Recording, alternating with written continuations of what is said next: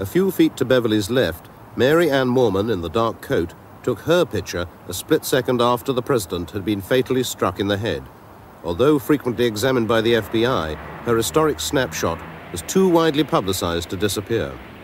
We know that the president's car was in the center. Its dramatic secret, however, has only recently been uncovered.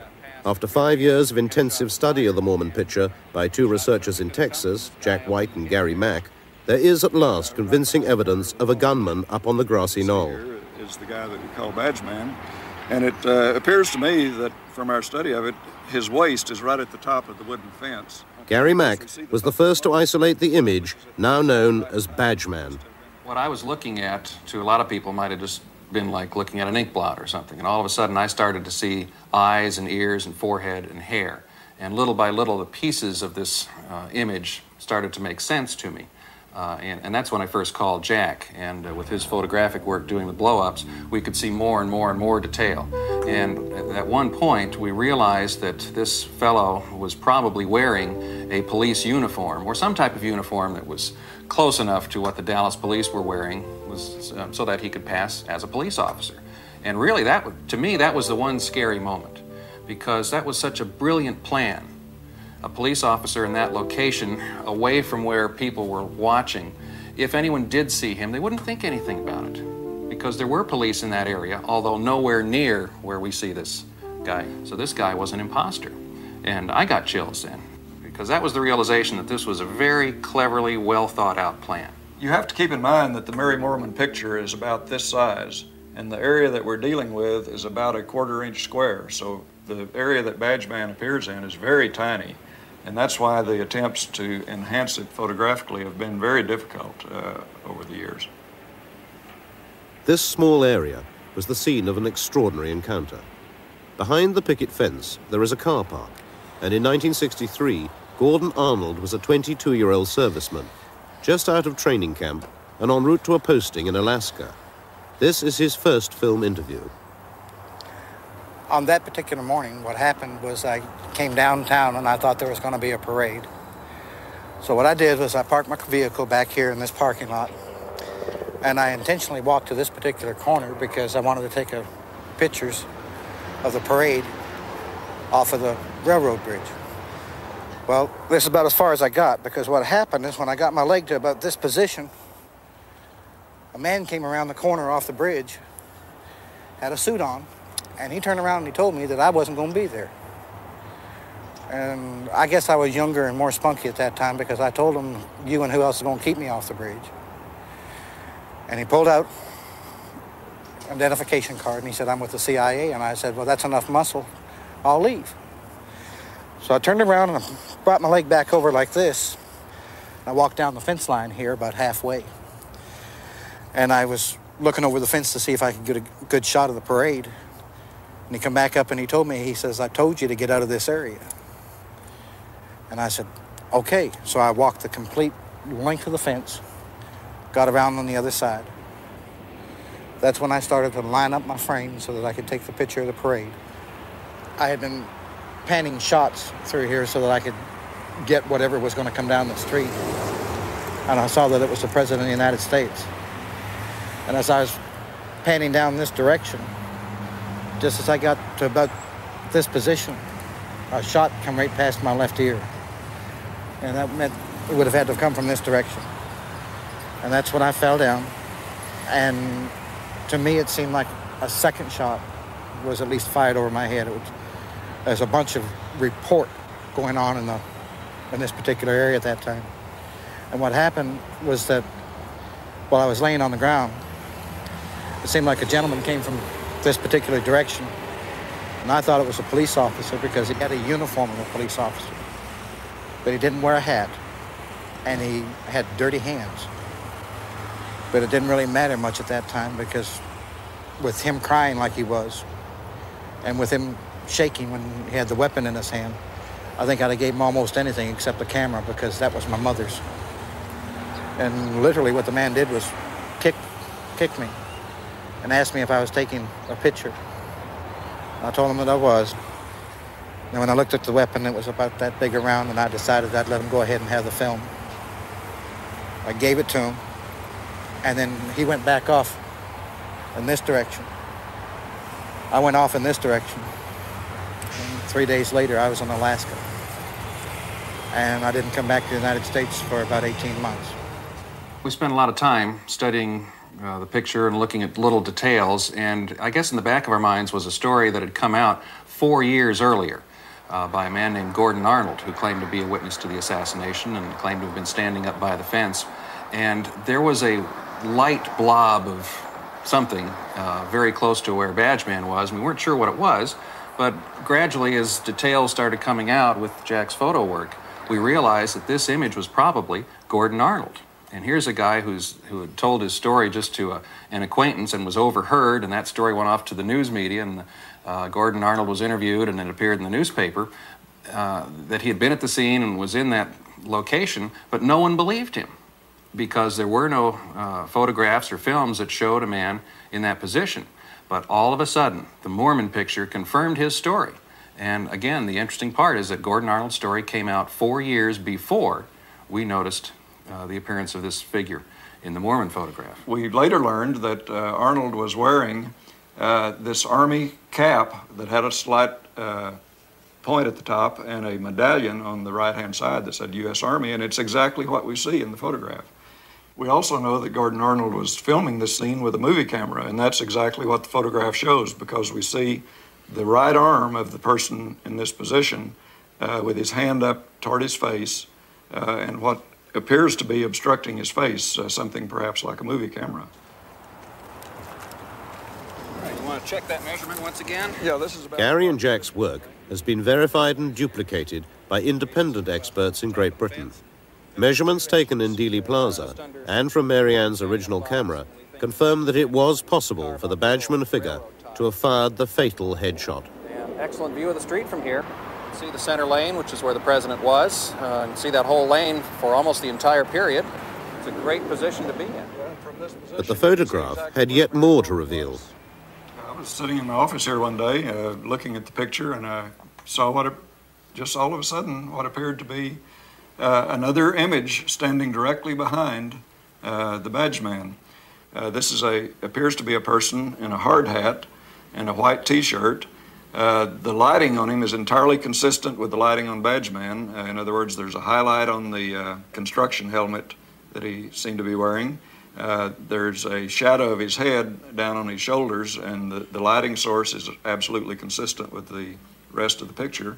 Uh, he, he appears to be looking off in the direction of the uh, school book depository. It was important in all this work that we develop somehow some independent corroboration for what we were seeing. And one of the important and yet often neglected witnesses in the Kennedy case is a railroad signalman named Lee Bowers, who was working in a railroad tower behind the picket fence and behind the grassy knoll.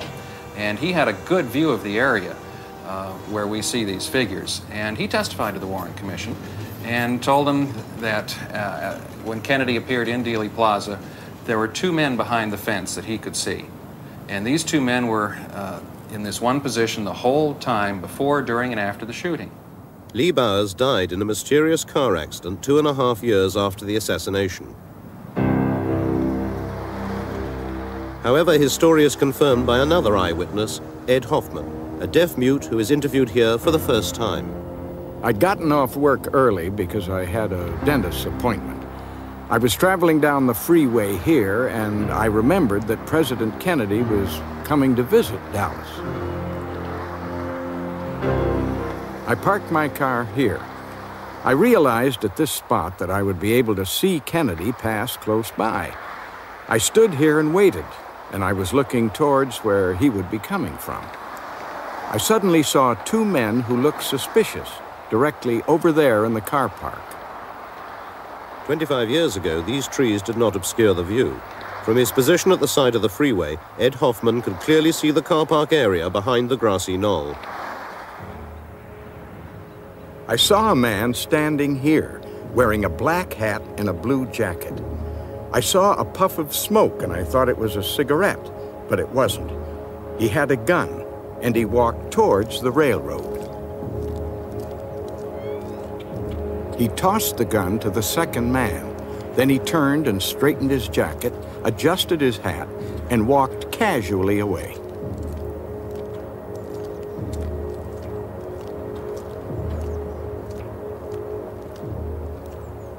The man with the striped shirt, the railroad shirt, walked over to the electrical box with the gun.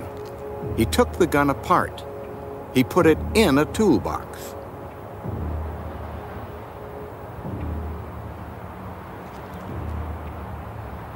He then walked slowly away in the direction of the railroad track.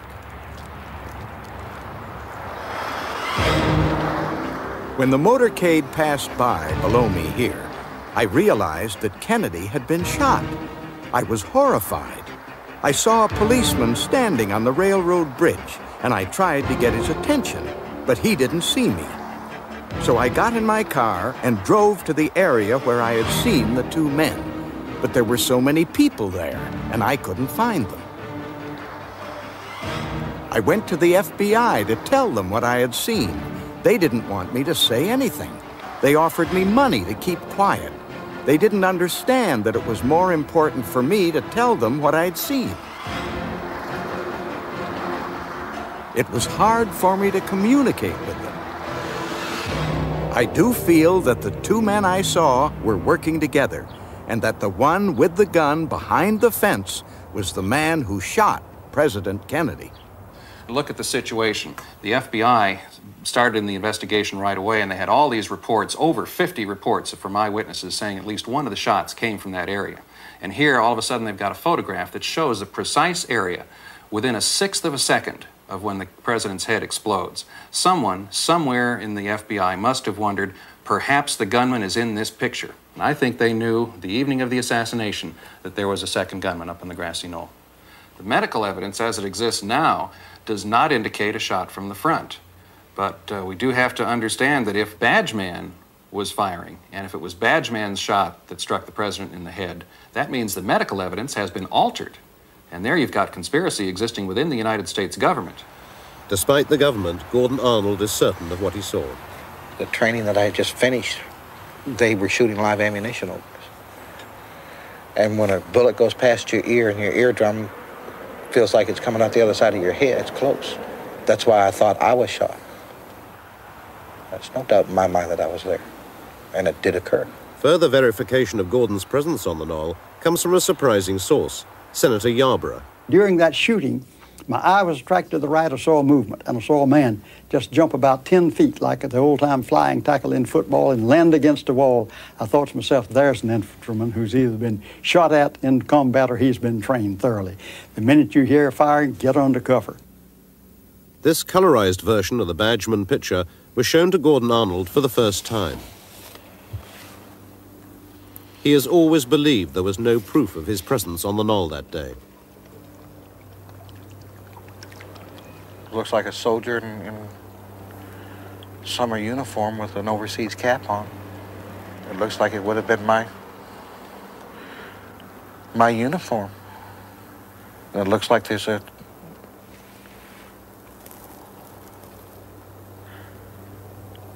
a camera. Or there's something up in front of the face.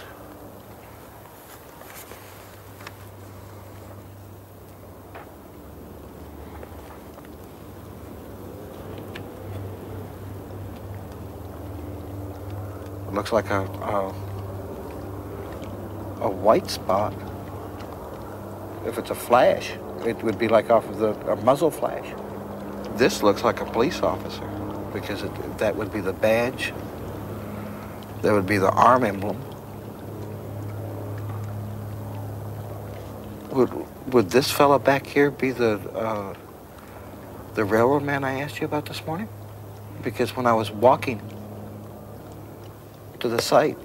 And I, I, had never told anybody that I had, when we were out there filming, it, it reminded me that the, there was a, uh, a railroad worker just standing out there by the railroad tracks. But that, it, it, it looks like somebody's taking a, a picture. Yeah, I, I couldn't figure out why, why would I be standing crooked? Until I flip that up, and if that's a muzzle blast or flash, then whoever's standing there would have been a fool to stand up straight. He'd been trying to get away from harm's way, is what it boils down to. And that could very well be me.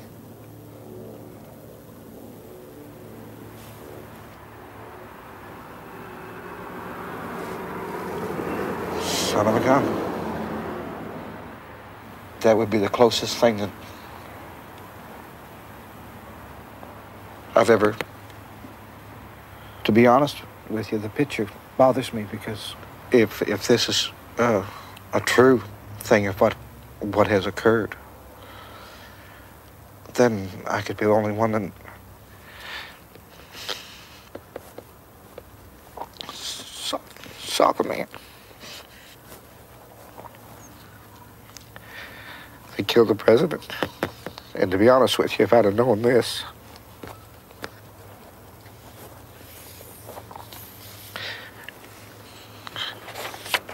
I wouldn't have given the interview.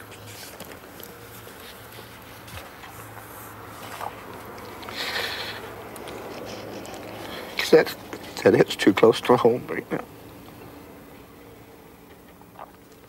If the figure is real, then that means the witnesses were correct and the researchers who have spoken of conspiracy for 25 years now were also correct. It means the Warren Commission was wrong. There was a conspiracy. The question then is who was involved in the conspiracy? And alongside with that is was Lee Harvey Oswald involved in the conspiracy? Uh, one of the good things the Warren Commission did was literally itemize the last few days of Lee Harvey Oswald's life. And the problem for the Warren Commission now would become well, he had no opportunity to be with other people to plan something like this. So we now have to wonder seriously, perhaps for the first time, whether Lee Harvey Oswald even fired any shots.